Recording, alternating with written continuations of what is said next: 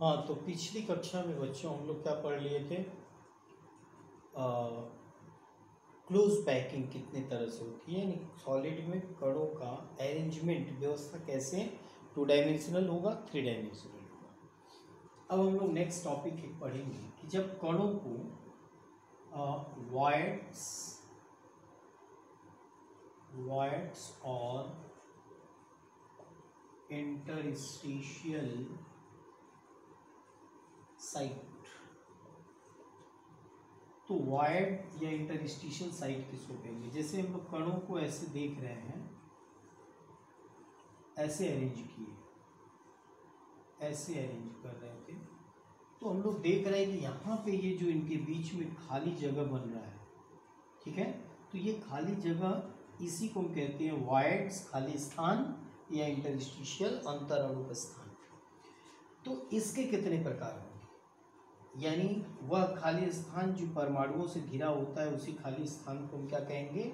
Void the space surrounded by spheres the vacant space surrounded by spheres is known as void और interstitial site तो यहाँ पर ये wide अब कितने तरह से हो सकता है? आ, ये दो प्रकार का होगा। दो प्रकार में एक कहते हैं टेट्राहेड्रल वाइड तो टेट्राहेड्रल वाइड और ऑक्टाहेड्रल वाइड तो हम लोग देखिए कैसे टेट्राहेड्रल या ऑक्टाहेड्रल बनेंगे। तो टाइप ऑफ़ वाइड्स दो तरह के एक को हम कह रहे हैं समचतुष्फलकीय, जिसको कहते हैं टेट्राहेड्रल वाइड या दूसरे को कहेंगे ऑक्टाहेड्रल वाइड या interstitial site that is vacant space तो अब टेट्राहेड्रल में क्या होगा? एक प्लेन में तीन एटम ऐसे रहेंगे। ऐसे रहेंगे। ठीक है? कल्पना करें, एक में तीन बॉल हम रख लें। दो ऊपर है, एक नीचे है, या एक ऊपर है, दो नीचे है। तो तीन से गिरा। अब हम इस स्पेस को बताते हैं, इसके सेंटर से। तो एक ट्रायंगल बन जाएगा, नीचे। और एक एटम इसी के ऊपर रख दें। ऊपर वाले को हम ऐसे ऊपर बना लें, यहाँ पर। इसके ऊपर है ये। इस वाइट पे जो खाली स्थान, ये गर्त बन रहा है ग्रूव या डिप्रेशन कहते हैं, इसी के ऊपर रखें। अब इसके सेंटर को, जो इसके ऊपर रखा हुआ है, इसके सेंटर को यदि इससे हम लोग मिला दें, इसको ऐसे मिला दें तो एक नीचे ट्रायंगल हो गया और सबको इस पॉइंट पे, यानी समचतुष्फल की संरचना गई। तो तीन नीचे एक प्लेन में रहेगा और एक ऊपर उसके रहेगा तो ऐसा वाइड बना उन चारों के बीच का जो भीतर खाली स्थान बनेगा, उसको हम कहेंगे टेट्राहेड्रल वाइड तो टेट्राहेड्रल वाइड को कैसे डिफाइन कर लेंगे? The space vacant space surrounded by four atom arrange tetrahedral यानी चार परमाणु समचतुष्फलकीय व्यवस्था में अरेंज रहे और उनके बीच जो खाली स्थान बनता है, उसी को कहेंगे tetrahedral void T H V और दूसरा है ऑक्टाहेड्रल इसमें क्या होगा? जैसे हम एक लेयर ऐसे बिछा लें ऐसे परमाणुओं का एक लेयर बना हुआ है, ऐसे अब जब दूसरा लेयर रहेंगे तो कहीं कहीं ऐसा होगा कि ये हम लोग दूसरा लेयर यहाँ बिछा ये तीन ऐसे है तो इस बार क्या होगा? एक यहाँ परमाणु हो जाए, एक यहाँ परमाणु हो जाए और एक यहाँ परमाणु। तो एक नीचे वाले का ट्रायंगल कैसे था? ऐसे। खाली स्थान। और ऊपर वाले का ट्रायंगल यहाँ देखो ये चौड़ा, ये दोनों। ऐसे ऐसे। यानी तीन नीचे, ऐसे, एक, दो, और ये तीन। और जो दूसरा लेयर जब आते एक वाइड यहाँ बना, और दूसरे का वाइड क्या बनेगा कि अब यहाँ एक हो जाए, और एक यहाँ, और एक तो इसका भी वाइड उसी के ऊपर बना, लेकिन एक ट्रायंगल ये नीचे था और नीचे वाले, ऊपर वाले का ट्रायंगल ऐसे, इस तरह से। तो इस खाली स्थान या इसको हम लोग क्या कह लेंगे? Octa octahedral void O H V तो दो तरह के हो गए टेट्राहेड्रल चार परमाणुओं से बन के और यहाँ छह परमाणुओं से। ऑक्टाहेड्रल हमेशा शेप कैसे बनता है? छह परमाणुओं से। तो तीन नीचे है और तीन ऊपर इन दोनों के जो खाली स्थान एक जगह बन रहे हैं, जिसमें एक ट्रायंगल नीचे की तरफ़ बन रहा है, एक ट्रायंगल ऊपर की तरफ़, जिसका शीर्ष एपिक कहते हैं ऑक्टाहेड्रल वाइड तो ये दो तरह के होते हैं। अब इन दोनों में एक रिलेशन जानना ज़रूरी है, उससे कुछ क्वेश्चन हम लोग सॉल्व कर पाते हैं।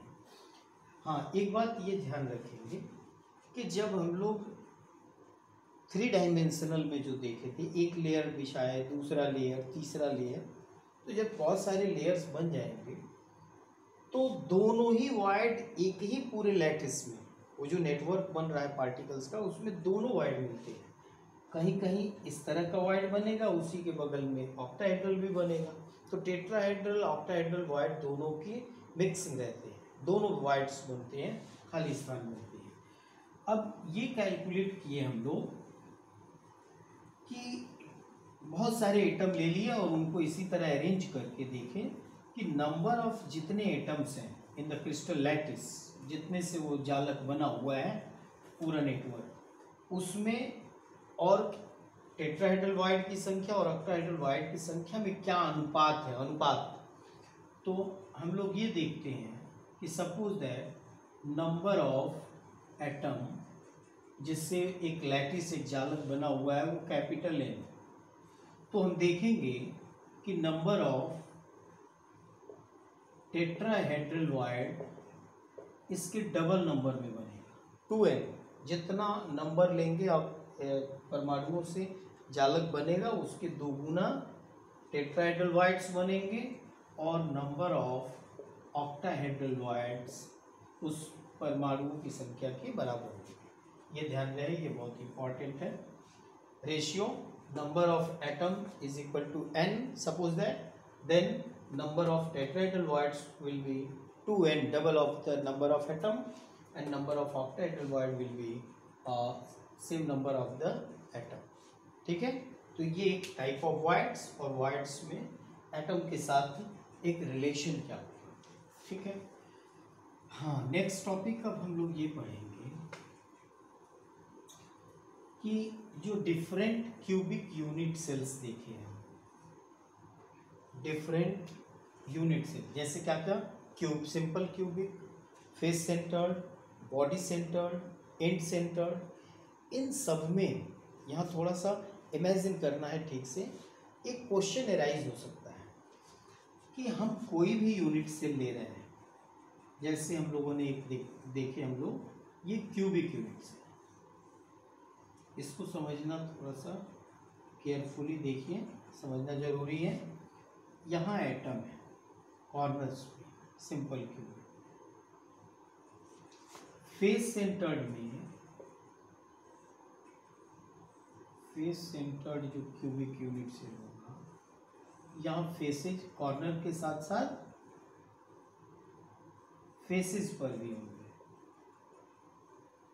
यहाँ ये सारे फेसेस पे होंगे। यहाँ, सारे फेसेस तो एक क्वेश्चन यहाँ ये, हम फाइंड क्या करने जा रहे हैं? एटम का रेडियस ये जो स्पीयर है, इसका हम लोग को रेडियस आर फाइंड करना है।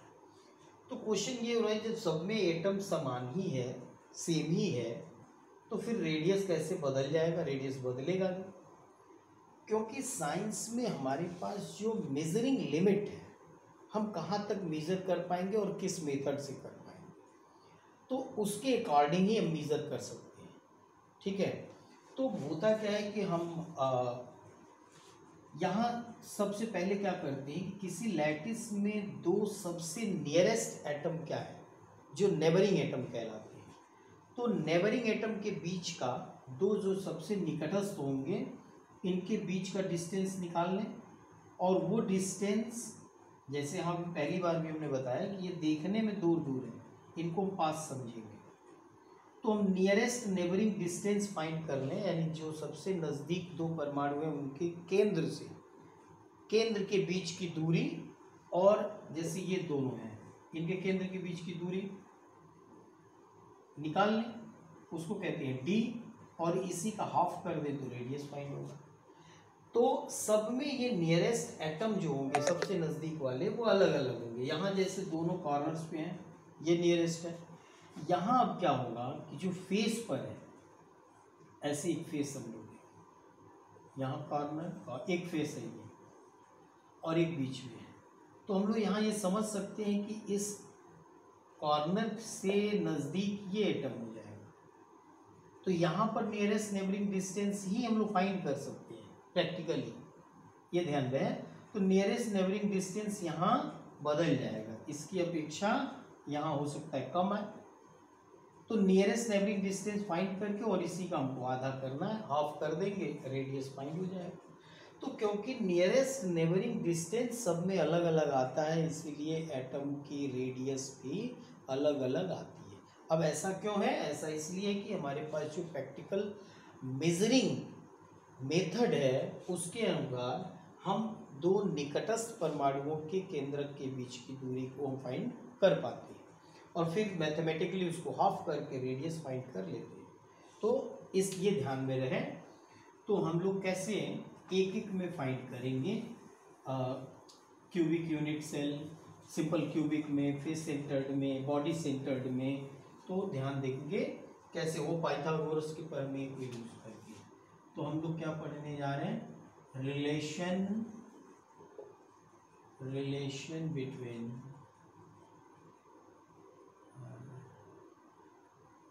relation between nearest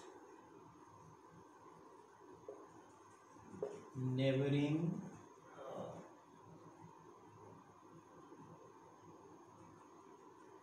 nearest neighboring distance d and radius of atom r. Small. Nearest neighbouring distance पहले फाइंड करेंगे और आर उससे फाइंड कर लेंगे। तो पहला जैसे है सिंपल क्यूब में। सिंपल क्यूब में हम कैसे फाइंड करेंगे? तो सिंपल क्यूब में आप देख रहे हो कि एक क्यूब हमने बना ली। और इस क्यूब में सारे कॉर्नर्स पे एटम्स प्लेस्ड हैं। सारे कॉर्नर्स पे हैं।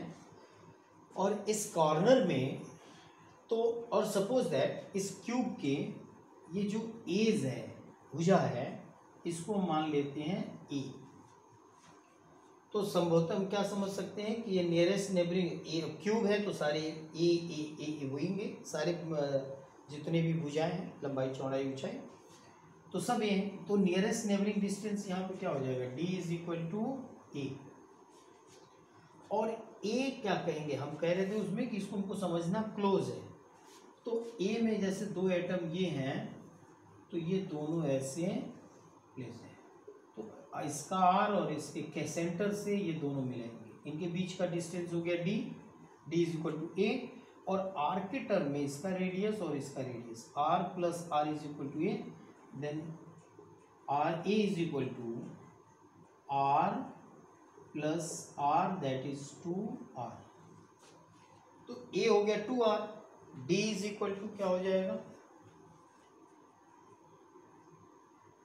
डी हाँ तो आर इज़ इक्वल टू इसको हम और क्या लिख सकते हैं? डी ए की जगह D D is equal to two R therefore अच्छा सॉरी इसको आप ऐसे समझ लो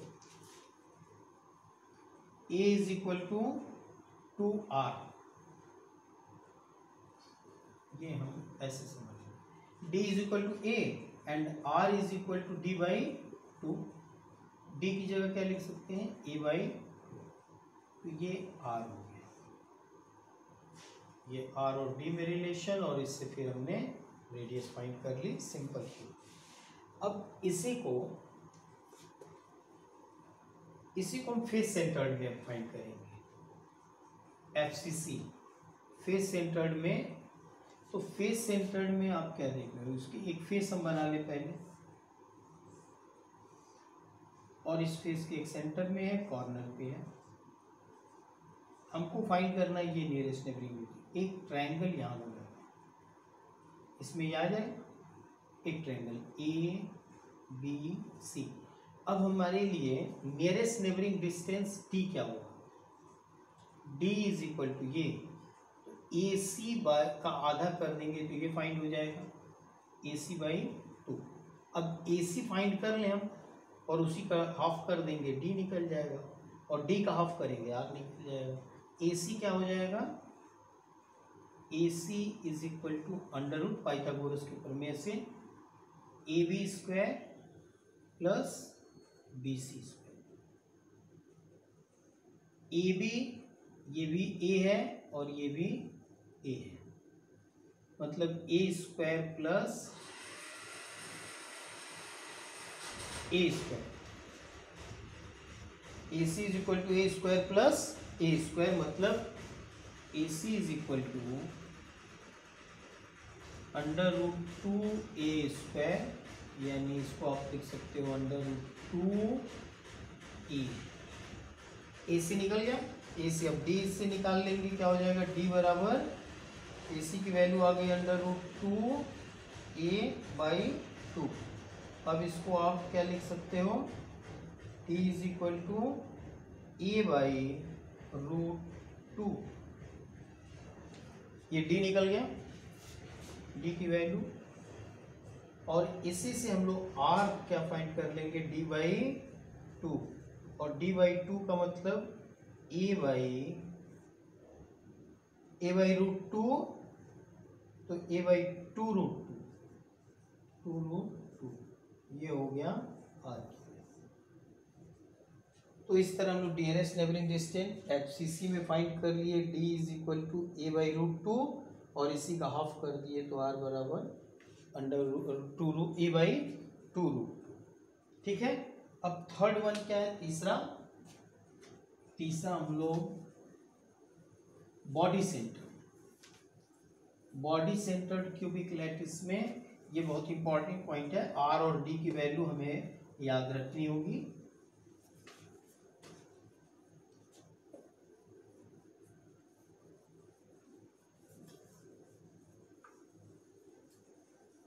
Body centre body centred cubic units तो बॉडी सेंटर्ड में आप देखोगे ये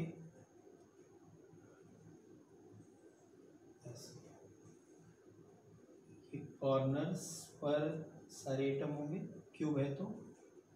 लेकिन इसके साथ ही साथ अब इसमें नियरेस्ट टू एटम एक बॉडी में है पूरा। तो हम रूम के इस कॉर्नर से, क्योंकि बीच में आएगा, तभी हम डिस्टेंस फाइंड कर सकते इस कॉर्नर से इस कॉर्नर तक ले जाए। और फिर इसको बीच से, इस बेस वाले से ऐसे, एक ट्रायंगल बना लिए ए इसको मान लें, ठीक है? ए बी इसको मान लें सी ये हो गया डी तो हमको अब नियरेस्ट नेबरिंग डिस्टेंस इन दोनों के डिस्टेंस फाइंड करना है तो क्या करेंगे? ए डी फाइंड कर लें किसी तरह, और ए डी का हाफ़ कर देंगे। ये nearest neighbouring distance is equal to A D by two अब ए डी कैसे फाइंड करेंगे? तो पहले हमको बी सी बी सी हम लोग अभी ऊपर देखे हैं कि इसकी वैल्यू यदि एज सारा ये एज क्या है?